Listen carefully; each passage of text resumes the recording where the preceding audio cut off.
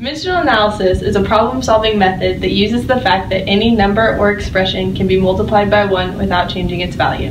To begin, measurement is the comparison of size and objects. Some examples are length, area, volume, weight, and time.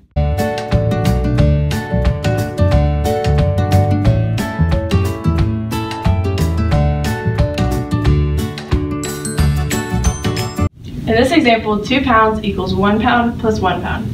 And in this example, 3 centimeters equals 1 centimeter plus 1 centimeter plus 1 centimeter. And these equal signs just mean that this is equivalent to this.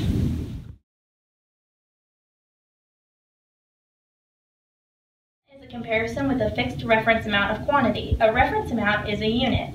Some examples of units are length, mass, and time. For example, the time it takes to go around an entire circle, or the length between A and B or the mass of an object and how heavy it is if it fell on someone's head.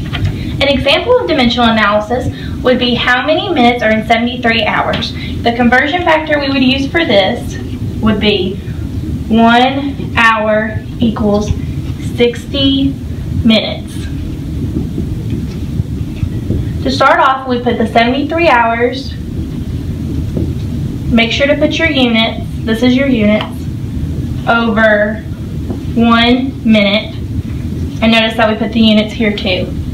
Multiply that by 60 minutes over one hour.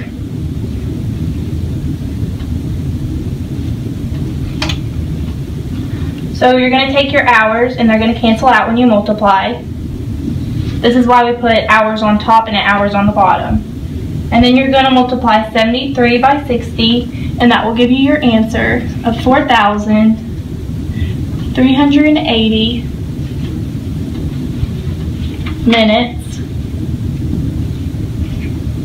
in 73 hours. Sometimes multiple conversions are necessary.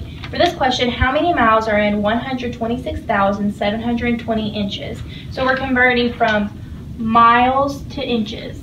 The two conversion factors you need for this is 12 inches equals one foot and 5,280 feet equals one mile. So we start off with what we know, which is 126,720 inches. And we multiply that by one foot over 12 inches. We do, we put the inches on the bottom so that we can cancel these two out. We then multiply one mile over 5,280 feet. Again, we do this so we can cancel the feet out. So when we start canceling out, we can cancel our inches and we can also cancel our feet which gives us miles, which is what we're looking for in the problem. So once you multiply 12 times 5,280, you divide it by 126,720 inches. That answer gives you 2 miles and 126,720 inches. Now we're going to talk about scaling. For scaling factor for the perimeter, we're going from A to B.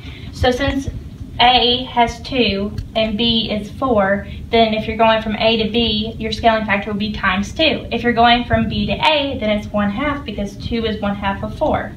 When you're doing an area scaling factor, you have to find the area for block A and the area for block B. So the area for block A is 2 times 2, which is 4, and the area for block B is 4 times 4, which is 16. So your area scaling factor will be times 4 because 4 times 4 is 16.